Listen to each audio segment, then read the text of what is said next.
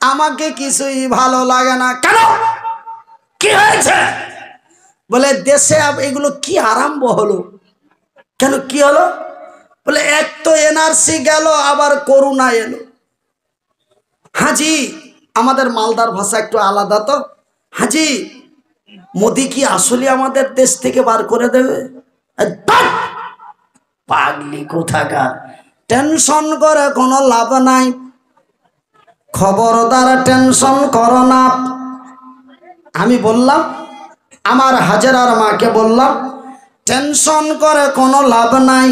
খবরদার টেনশন করো না।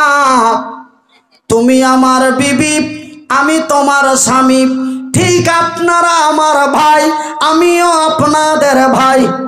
যদিও বাড়ি উত্তরবঙ্গের মালদা জেলায় হয়। তবুও যেন আপনারা আমারই ভাই, আমি যেন আপনাদেরই ভাই। আমার বিবিকে বললাম, তুই আমার বিবি, আমি তোর স্বামী। খবরদার টেনশন করিস না, টেনশন করে কোনো লাভ হবে না। মোদি এসেছে, চলে যাবে। ইনশাল্লাহ বলেন। আরও জোরে। সবাই মিলে।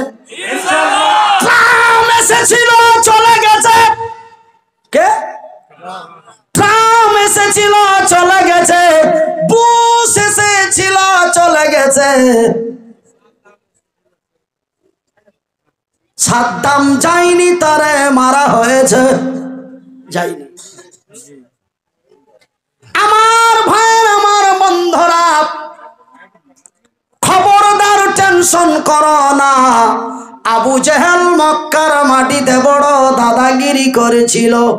আমার আল্লাহ তার সর্বনাশ করে, আমার নাবিকে নবুয়া দিয়ে মক্কা বিজয় করিয়েছে। দেখবে খবরদার, টেনশন করো না। টেনশন করে কোনো লাভ হবে না।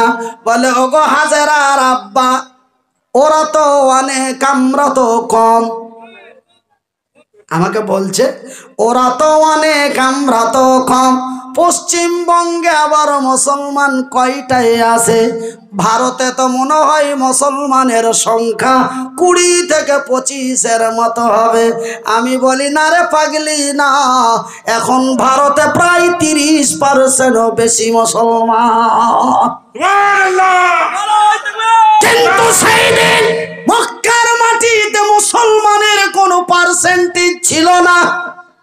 অতি নিম্ন জিরো পয়েন্টের মধ্যে মক্কা বিজয় হয়েছে। টেনশন করো না, এই টেনশন আমি করতে নিষেধ করি না সোনা এই টেনশন আমার আল্লাহ করতে নিষেধ করেছে। বন্ধুরা আমি আপনাদের ভাই, আপনারা যেন আমারই ভাই। হাত দুটি জড়িয়ে বলে যাই, সোনা। মাথায় হাত রেখে বলে যাই, বন্ধু। টেনশন করে কোনো লাভ হবে না। টেনশন যদি করেন আপনার ব্রেনের ক্ষতি কথা ঠিক কিনা? টেনশন যদি করেন আপনার শারীরিক ক্ষতি কথা ঠিক কিনা? টেনশন যদি করেন আপনার সাংসারিক ক্ষ- ক্ষতি কথা ঠিক কিনা? কেন টেনশন করে কোনো লাভ হবে না? দুই হাজার ষোলো সালের তেরোই ষোলোয় নভেম্বর, দুই হাজার ষোলো সালের ষোলোই নভেম্বর, যখন পূর্বের পাঁচশো হাজার বন্ধ করে দিয়ে নতুন হাজার দু হাজার তৈরি করল, সারা ভারতবাসী টেনশনে পড়ে গেল। হ্যাঁ না? বন্ধুরে, এতই টেনশনে পড়ল কেউ আত্মহত্যা করল। কেউ ব্যাংকে রাতের পর রাত ব্যাংকের বারান্দায় মশার কামড়ে পড়ে থাকল। কেউ আবার দিল্লির মাটি যেয়ে ঘেরোয়া করল। কোনো লাভ হয়েছে সোনা? কথা বলে কোনো লাভ হয়নি। টাকা যেমন হয়েছিল তেমনই আছে। তবে টেনশন করে কোনো লাভ হবে না। শুধু টেনশন করাই হবে।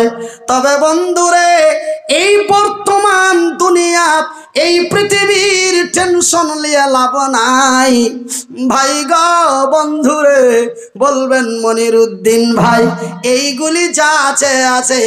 আরও একটা কথাই বড় টেনশন হয়। আমাদের পশ্চিমবঙ্গের দিলীপ ঘোষ বলেছে বেছে বেছে বার করে এনআরসি করে, লাঠি মেরে মাল এই পার থেকে ওই পারে পাঠিয়ে দেব। ই তো আর এক টেনশন খবরদার টেনশন করো না। এই সব টেনশন করে কোনো লাভ হবে না। বিশ্বাস যদি না করুন, আল্লাহর পবিত্র কোরআনটি খুলে দেখুন। মহান আল্লাহ তার নিজের ভাষায় বলেন বিসমিল্লাহির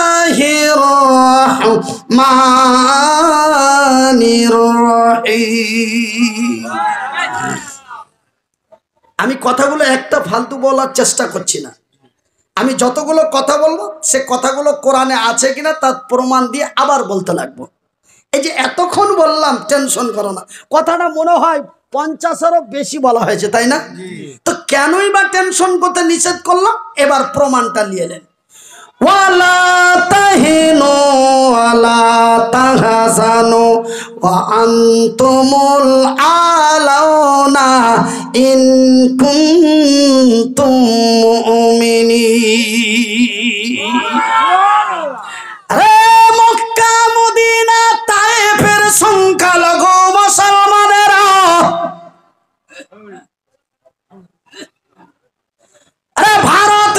সিরিয়া বিশ্ব জগতের সংখ্যালঘু মুসলমানেরা।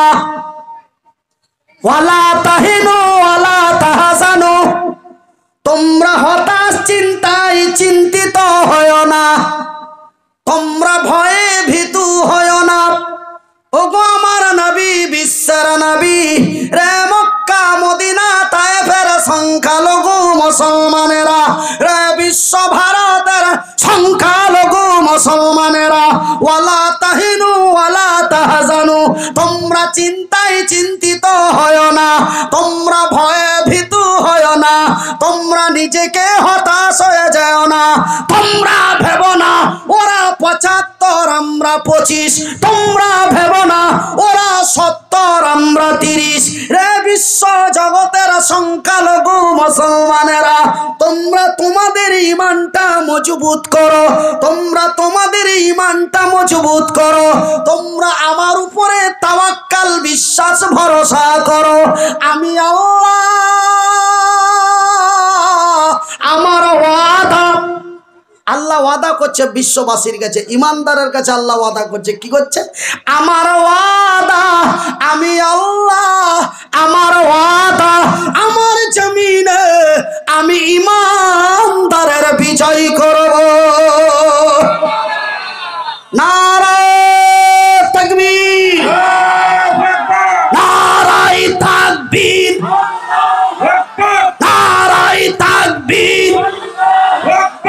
ইসলাম জিন্দাবাদ।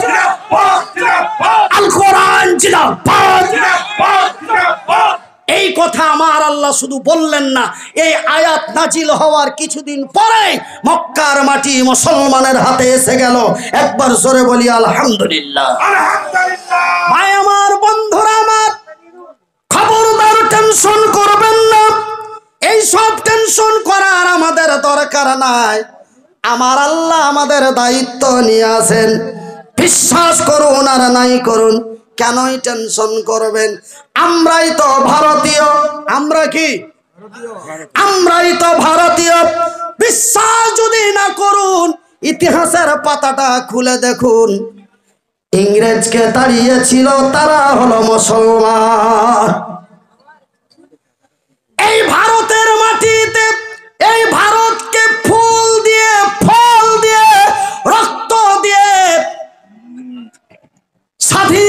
করেছে মুসলমান,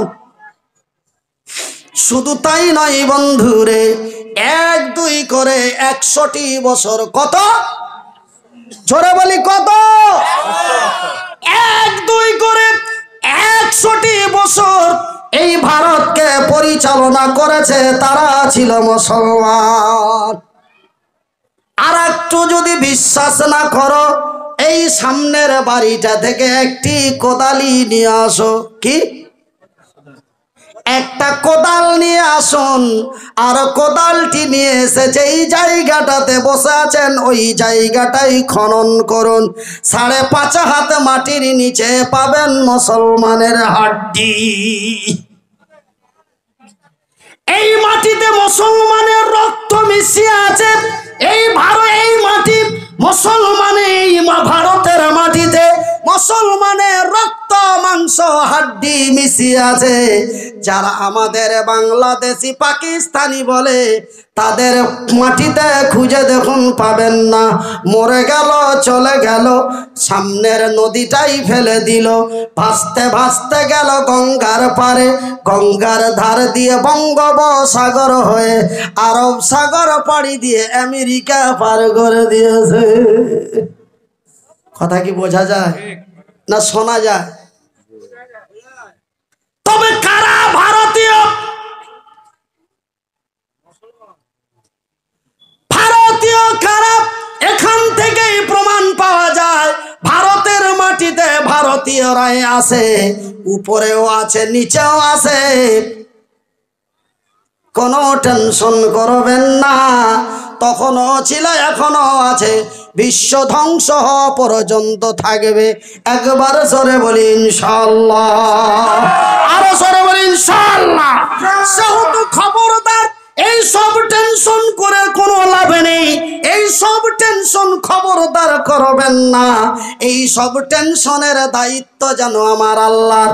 যদি টেনশন করতেই হয়, যদি ভাবনা ভাবতেই হয়, কথাটা খুব খেয়াল করে শুনে যদি টেনশন করতেই হয়, যদি ভাবনা ভাবতেই হয়, যদি ভাবতে হয় টেনশন যদি করতেই হয়, তবে ওই জায়গার টেনশন করুন।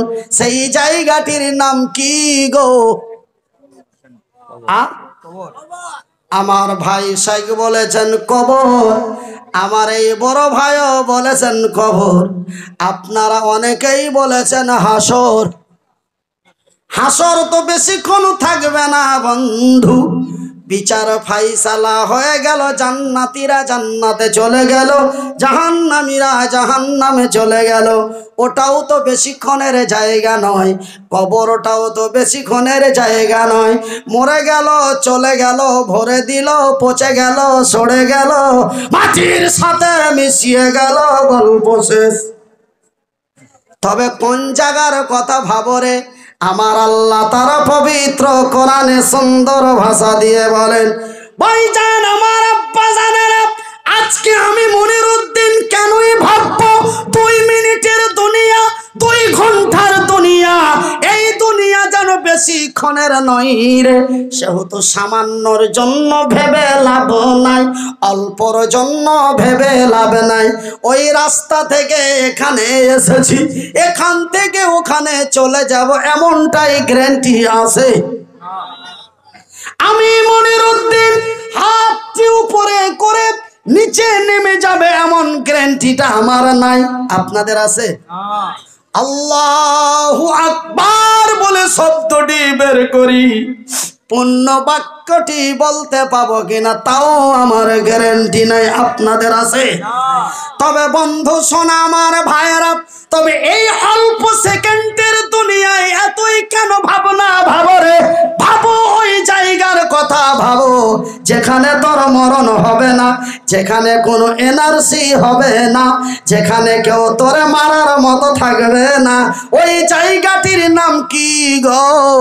সেই জায়গাটির নাম হলো জাহান্নাম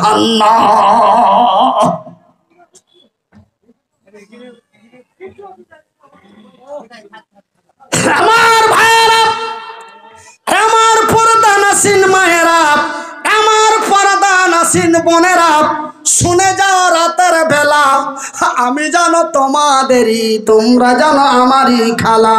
রে আমার কেশপুর মেদিনীপুরের মা বোনেরা, রে কেশপুর মেদিনীপুরের ভাই বন্ধুরা, আমি মনির উদ্দিন হাত দুটি জড়িয়ে বলি, ভাই, কেন যে আমি আপনাদেরই ভাই? আমার আল্লাহ তার নিজের ভাষা দিয়ে বলেন, আমার আল্লাহ বলে তোরা ভাবিস না, চিন্তা করিস না। যদি ভাবতেই হয়, তবে ওই জায়গার ভাবনা ভেব। যেই জায়গাটির নাম হলো জাহান্নাম। ওই জাহান্নাম এমনই এক খাতারনাকময় জাহান্নাম। ওই জাহান্নাম এমনই এক বিপদজনক ওই জাহান্নাম। আমার রসুল তার সচক্ষে মেরাজে যে দেখে আসলেন। সুবহান আল্লাহ কি বলা যাবে না? ভাইজান বন্দরে, ওই জাহান্নাম এমনই এক বিপজ্জনকময় জাহান্নাম। আমার আল্লাহ তার পবিত্র কোরআনে সুন্দর ভাষা দিয়ে বলেন, বিসমিল্লাহির রহমানির রহিম। ইয়া আইয়ুহাল্লাযীনা আমানু কু আনফুসাকুম ওয়া আহলিকুম নারা। এটা কার কথা? আল্লাহর কথা। ওইখানে যেমন আল্লাহ বললেন, তোরা টেনশন করিস না, এই সব টেনশন করে তোদের লাভ নাই, তোরা আমার উপরে বিশ্বাস, তাওয়াক্কাল রাখ, আমি তোদেরই কল্যাণ করব।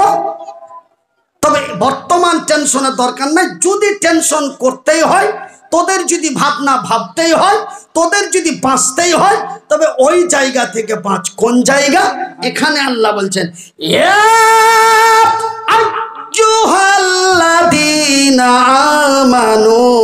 কু আনফুসাকুম আহলিকুম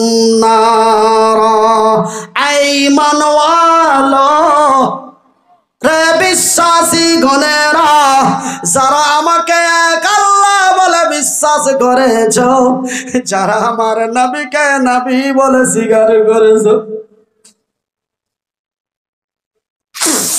যারা আমার সৃষ্টি জগৎকে বিশ্বাস করেছ, রে বিশ্বের বিশ্বাসী গণেরা,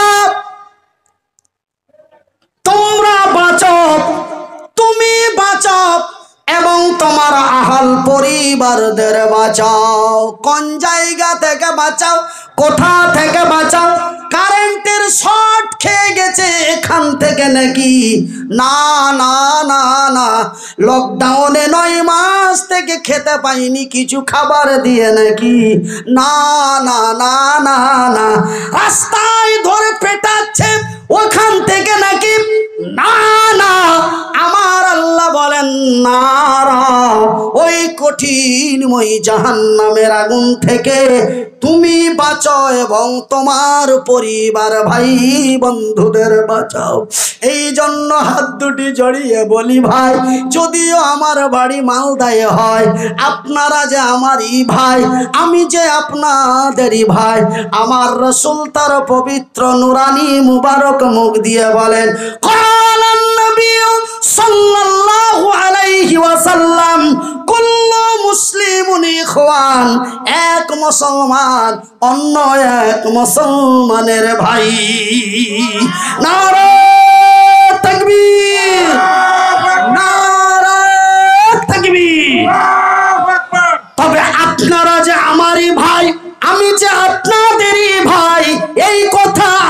রসুল বলে যাই, আপনারা আমারই ভাই, আমি আপনাদেরই ভাই।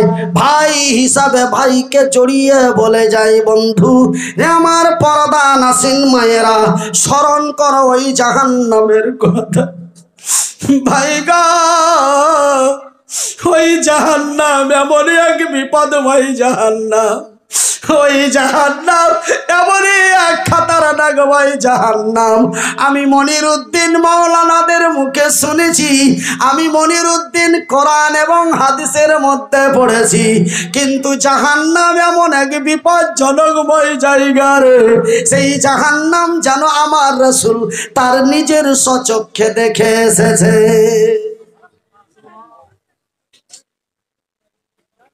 আমার রসুল শুধু জাহান্নাম দেখেননি। বলবেন মনির উদ্দিন ভাই, আমার নবী কেমন করে জাহান্নাম দেখলেন? নবী কি এমন করে পায়ে হেঁটে গেছিলেন? না আমার রাসুল ঘোড়াই চড়ে গেছিলেন, না আমার নাবি বুড়াকে চড়ে গেছিলেন। আমার নাবি কি নিচে ঝেঁটে যেয়ে দেখে এসেছিলেন? না না না না না। আমার রসুলকে আমার আল্লাহ তার জান্নাত এবং জাহান্নাম দেখিয়েছে। নবী নিজে থেকে দেখে আসেনি, আমার আল্লাহ দেখেছেন তার জিব্রাইলের মাধ্যম দিয়ে। আমার ভাইরা আমার আল্লাহ জিব্রাইলকে ডেকে বলেন, ওগো জিব্রাইল আমার জমিনে মক্কার মাটিতে যাও আর আমার রসুলকে সঙ্গী সাথী হয়ে আমার নাবিকে আমার সার্বভৌমত্ব ভ্রমণ করিয়ে দাও। আমার আকাশ, চন্দ্র, সূর্য, নক্ষত্র, উপগ্রহ, মঙ্গল গ্রহ, মহাশূন্য, সাগর পাড়ি দিয়ে শেষ পর্যন্ত আমার নবীকে আমার জান্নাত এবং আমার জাহান্নামটাও দেখিয়ে দাও। জান্নাত কারে বলে? জাহান্নাম কারে বলে? জান্নাত কাকে বলে? জাহান্নাম কাকে বলে? ওগো নবী, ওগো জিবরাইল, আমার প্যারা হাবিব, আমার রাহমাতুল্লিল আলামিন যেন তার উম্মতদের সুন্দর করে বুঝিয়ে বলে দিতে পারে, জাহান্নাম এমনই কি বিপজ্জনক হয়ে জায়গা।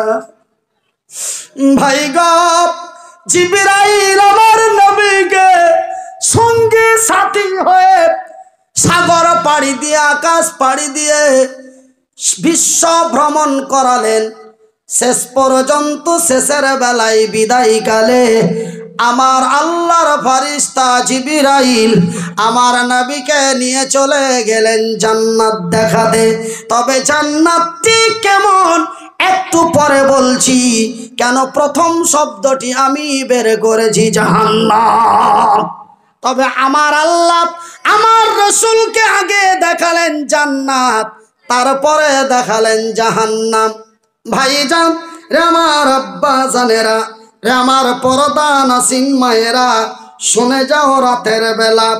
সেই জাহান্নাম যখন আমার নবীকে জান্নাত দেখাতে নিয়ে গেলেন, জান্নাতটি কেমন দেখলেন? আজকের মাহফিলটার মতো নাকি? না কলকাতা সিটি টাউনের মতো নাকি? আমি কথাটা একটু পরে বলি, তবে জাহান্নাম আমার নাবিকে দেখাতে নিয়ে গেলেন। বন্ধুরে আপনি এবার ভেবে নিন, আপনি কোন টেনশন করবেন? জান্নাতের, জান্নাতে যাওয়ার টেনশন করবেন, না জাহান্নামে যাওয়ার টেনশন করবেন, না ভারতীয় এনআরসি নিয়ে টেনশন করবেন। এবার আপনি ভাবতে থাকুন, আর আমি মনির উদ্দিন মালদা যাইতে থাকি। আমার বলার কাজ বলে দিই। কেন? আমি জানি, আমার দায়িত্ব আপনাদের বলে দেওয়া। মানা না মানা আপনাদের ব্যাপার।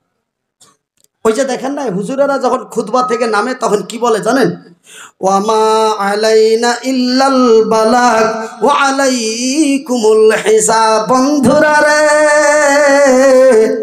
আমি জানি আমার দায়িত্ব ছিল তোদের বলা কিন্তু আরবি দিয়ে বলে তো, ভাবলেন যেহেতু হুজুর খুতবা পড়েই নামলো। খুতবা পড়ে নামেনি।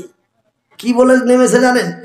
আমি জানি আমার দায়িত্ব হলো জানিয়ে দেওয়ার, আমি তোমাদের জানিয়ে দিলাম, মানবা মানো না, মানবা আমার দেখার নাই। মানলে তোর ভালো হবে, না মানলে তোর পিটনি চালু হবে। মানবা কি মানবে না, আমি তা জানি না। আমার বলার দায়িত্ব ছিল, আমি তাহা বলে দিলাম। এর এই কথাটাই বলে হুজুর খুদবা থেকে নেমে যায়। জুমার দিন। প্রতিদিন এই কথাটা বলে নামে।